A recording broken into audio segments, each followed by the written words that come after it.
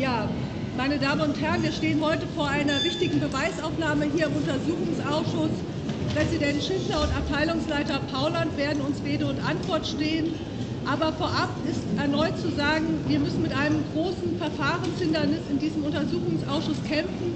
Wir haben die wichtigste Unterlage zu dieser Vernehmung heute nicht zur Hand, die sogenannte Selektorenliste, also die Liste, die Auskunft gibt zu den Spätzielen der NSE im Datenverarbeitungssystem des Bundesnachrichtendienstes. Und die Opposition ist eben gerade in der Beratungssitzung damit gescheitert, wenigstens eine Frist zu vereinbaren, bis wann wir eine Antwort der Bundesregierung auf die Frage erhalten, wie sie mit unserem zulässigen, abgestimmten und verfristeten Beweisantrag zu dieser Selektorenliste umgehen will. Wir wollten der Bundesregierung aufgeben, uns unverzüglich diese Unterlage, die wir für die Beweiserhebung ganz dringend brauchen, vorzulegen. Und wenn sie dies verweigert, uns wenigstens bis zum 1.6. dies in geeigneter Form schriftlich mitzuteilen. Dieser Antrag ist von der Mehrheit im Untersuchungsausschuss heute vertagt worden auf die nächste Beratungssitzung. Und das heißt für uns ganz klar, wir müssen jetzt mit einem Szenario rechnen, dass wir über Wochen hin in dieser Sache hingehalten werden. Die erste Auskunft von Herrn Altmaier in dieser Sache, es würde sich um wenige Tage handeln, und dann das Versprechen der Kanzlerin, dass alles auf den Tisch gehört des Untersuchungsausschusses, sind inzwischen Makulatur. Wenn wir realistisch das einkalkulieren, wie wir eben die Situation eingeschätzt haben, dann können wir sogar die Sorge haben, dass wir noch nicht einmal vor der Sommerpause die entsprechenden Unterlagen, die uns als Untersuchungsausschuss zustehen, zu Gesicht bekommen. Sie wissen, Vorschläge, die im Raum stehen, einen Ermittlungsbeauftragten oder einen Sonderermittler, damit zu betrauen, die Listen als Ersatz für die gewählten Mitglieder des Untersuchungsausschusses einzusehen, lehnen wir ab. Wir sind offen als Linke dafür, dass uns ein Ermittlungsbeauftragter unterstützt, wenn er kompetent und unabhängig ist. Aber wir sagen ganz klar, die Erwartung und Verpflichtung für diesen Untersuchungsausschuss selbst aufzuklären, werden wir nicht an einen Dritten delegieren. Und kein Dritter kann für uns die Bewertung dieser äh, Listen vornehmen. Das ist originäre Aufgabe des Untersuchungsausschusses. Und noch kurz ein, zwei Sätze zu den heute anstehenden Fragen an Herrn Präsident Schindler. Wir haben ja gestern mit BND-Zeugen die Fragen der Selektoren durchdekliniert. Und eine ganz zentrale Frage ist natürlich, ab wann war dem Präsidenten des Bundesnachrichtendienstes bekannt, dass unter den Spätzielen der NSE Daten waren zu Unternehmen, deutsche Unternehmen, europäische Unternehmen. Ab wann war dem Präsidenten bekannt, dass Regierungsstellen von europäischen Nachbarn unter diesen Spionagezielen waren, dass es möglicherweise auch Angriffe gegenüber Persönlichkeiten, politische Personen des öffentlichen Lebens auf europäischer Ebene gab und vieles mehr. Was ist daraufhin unternommen worden, um diese illegale Praxis der NSE auch zu beenden?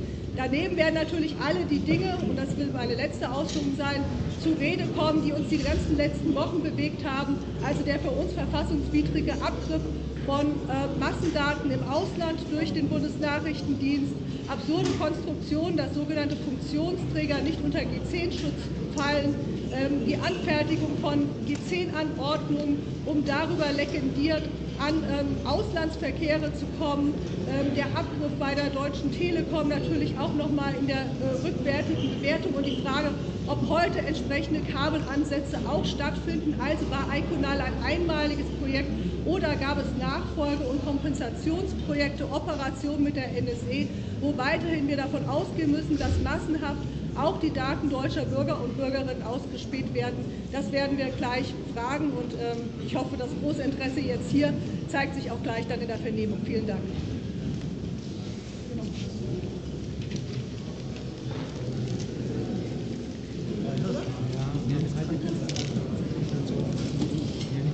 Ja, guten Morgen, meine Damen und Herren. Ein spannender Tag. Äh, ich äh, sage mal, im Hinblick auf unsere Zeugen interessiert uns vor allen Dingen, was wurde konkret unternommen im BND, im Bundeskanzleramt, ähm, als man misstrauisch hätte werden müssen gegenüber der Kooperation mit der NSA in den Jahren 2005, 2008 und allerspätestens nach den Veröffentlichungen Edward Snowdens 2013. Das Kanzleramt hatte die äh, Fach- und Rechtsaufsicht über den BND Es war mit Händen zu greifen, dass es massive Probleme gibt. Edward Snowden hat das schwarz auf weiß geliefert. Was wurde unternommen? Wer hat mit wem geredet? Wer hat für was über Verantwortung übernommen? Das sind die Fragen, mit denen wir uns heute hier auseinandersetzen. Im Hinblick auf den Sonderermittler kann ich sagen, es gibt einen tollen Sonderermittler im Deutschen Bundestag. Das ist dieser Untersuchungsausschuss. Er leistet gute Arbeit und es geht gut voran. Und diese Ablenkungsmanöver zur Gesichtswahrung eines Vizekanzlers oder äh, zur Heiligenscheinbewahrung einer Bundeskanzlerin durch milde gestimmte Sonderermittler werden wir nicht mitmachen. Es geht um originäre Rechte des Parlaments und die lassen wir uns nicht abverhandeln. Zum Schluss zu den Listen. Ähm, es werden kurioserweise immer mehr. Das ändert aber nichts an der Tatsache, dass wir sie sehen wollen.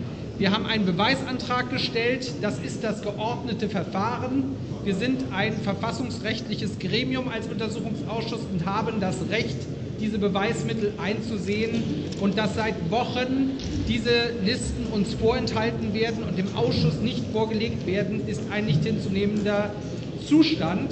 Meinetwegen soll man konsultieren, aber das muss eben auch irgendwann ein Ende haben und dass die Große Koalition hier mit den Stimmen der SPD die noch mit dem Vizekanzler ganz vehement die Vorlage dieses Beweismittels für den Untersuchungsausschuss gefordert hat. Heute unseren Antrag für eine erneute Fristsetzung für das Bundeskanzleramt zur Vorlage dieser Listen hintertrieben hat, ist ein schlechtes Zeichen und ich befürchte, es läuft im Grunde wie beim Zeugen Snowden auf den St. Nimmerleinstag hinaus. Man versucht hier unser Aufklärungsverfahren zu sabotieren. Das werden wir uns so nicht gefallen lassen. Herzlichen Dank.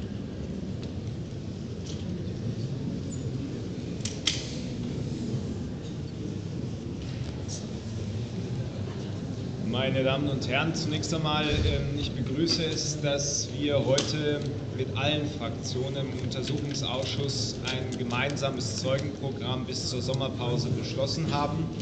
Ein Programm, das der Aufklärung dient und das vor allen Dingen an der bewährten Strategie unseres Untersuchungsausschusses festhält, dass wir nämlich von unten nach oben fragen, dass wir zunächst die operativ tätigen Mitarbeiter befragen, um dann auf die politisch Verantwortlichen mit Substanz und Vorhalt äh, entsprechend befragen zu können. Wir haben uns heute auf ein solches Programm geeinigt und ich bin zuversichtlich, dass wir mit diesem Programm auch noch vor der Sommerpause wesentliche Erkenntnisse in Bezug auf die Selektoren hier präsentieren können. Es verfestigt sich der Eindruck, dass beim Umgang mit amerikanischen Selektoren, mit Suchbegriffen der NSA es erhebliche Probleme beim Bundesnachrichtendienst in der Vergangenheit gegeben hat. Das bedeutet auch, wir brauchen als Parlamentarier in einem geeigneten Verfahren Einsicht in diese Selektorenlisten. Das ist unabdingbar für unsere Aufklärungsarbeit. Ähm, es ist eine schwierige Entscheidung, die hier stattfindet beim Bundeskanzleramt. Der Ball liegt aber jetzt im Spielfeld des Bundeskanzleramtes und ich erwarte auch hier eine zügige Entscheidung. Es ist nämlich besonders schwierig, wenn wir unser Programm bis zur Sommerpause hier weiter absolvieren, die Zeugen befragen, Zeugen, die teilweise Einblick in diesen Selektorenlisten hatten und wir diese Möglichkeit nicht haben. Da zählt also, das kann ich deutlich sagen, jeder Tag.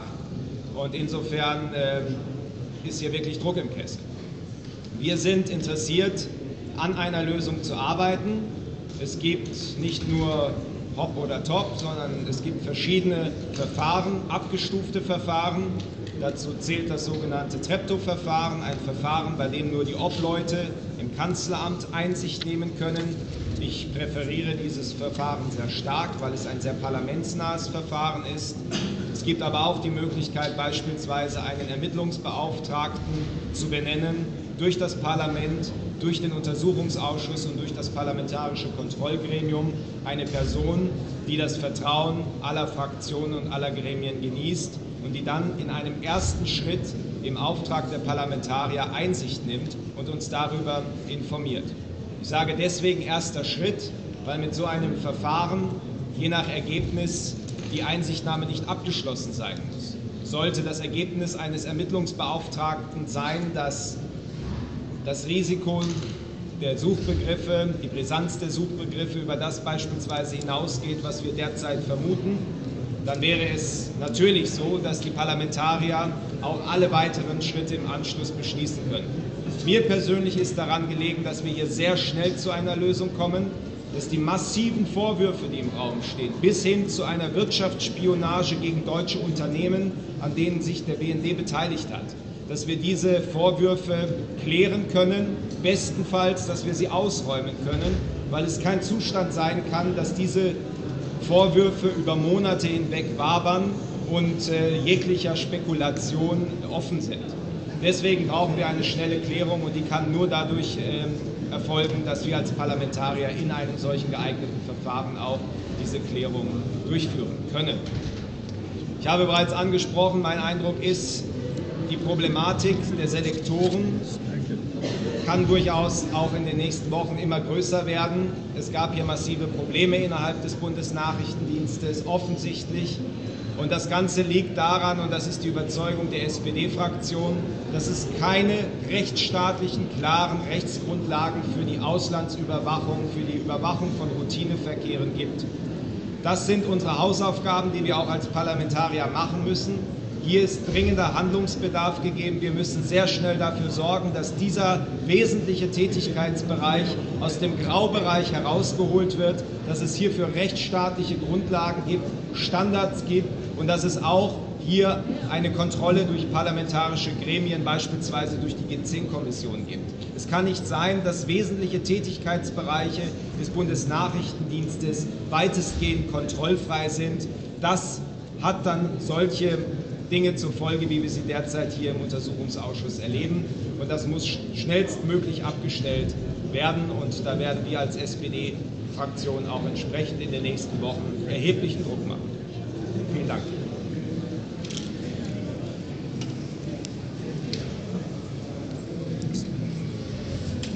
Meine Damen und Herren, für die CDU-CSU Arbeitsgruppe im Ausschuss gibt es bei der Frage der Vorlage der Selektorenlisten nicht nur schwarz oder weiß.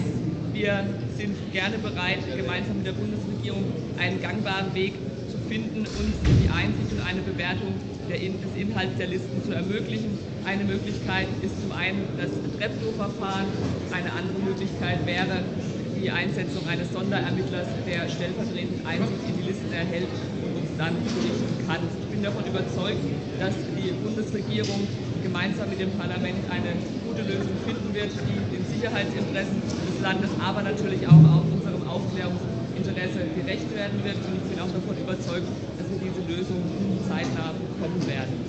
Wir als Untersuchungsausschuss sind Herrin des Verfahrens. Wir legen fest, äh, wann wir uns mit welchem Thema befassen, welche Zeugen wir hören. Wir haben uns nach Aufkommen der Vorwürfe bewusst dafür entschieden, direkt damit einzusteigen, Zeugen dazu zu befragen und Unterlagen zu sichten. Uns war klar, dass es ein laufender Prozess ist, dass die Untersuchungen andauern. Uns war auch klar, dass die Listen nicht direkt zur Verfügung stehen werden. Deswegen denke ich, kann man im Moment nicht den Vorwurf in den Raum stellen, dass die Arbeit dadurch verzögert wird. Wir haben bewusst uns dafür entschieden, direkt mit der Aufklärungsarbeit zu beginnen, in dem Bewusstsein, dass es eben ein laufender Prozess ist. Gleichwohl sagen wir auch, dass es jetzt zügig auch eine Lösung äh, geben muss, wie wir uns ein Bild von den Listen machen können. Wir haben heute einvernehmlich, und das finde ich sehr positiv, das Zollprogramm bis zur Sommerpause beschlossen. Und wir haben damit auch beschlossen, dass der jetzige Bundesinnenminister dem Untersuchungsausschuss am 18.06. zur Verfügung stehen soll als Zeuge. Und damit werden wir unser Arbeitsprogramm weiter fortführen, jetzt äh, die Ebene auch der Fachaussicht im Kanzleramt hören und dann vor der Sommerpause noch zur politischen Ebene rüberkommen, äh, die als Zeugen zu vernehmen. Wir werden den Zeugen Schindler natürlich genau fragen, wie es sein kann, dass in seinem Hause zu einer Zeit, wie Snowden-Veröffentlichungen äh, aufgekommen sind, wo viele Fragen im Raum stehen, wie es da sein kann, dass in einer Unterabteilung selbstständig ähm, Prüfungen erfolgen von Selektorenlisten und dass äh, über diese Vorgänge äh, die Abteilungsleitung und die Hausspitze nicht informiert wird. Wir werden mit ihm da genau besprechen, wo Defizite auch in der organisatorischen Struktur des Hauses waren und wie man diese jetzt behoben hat und beheben werden muss.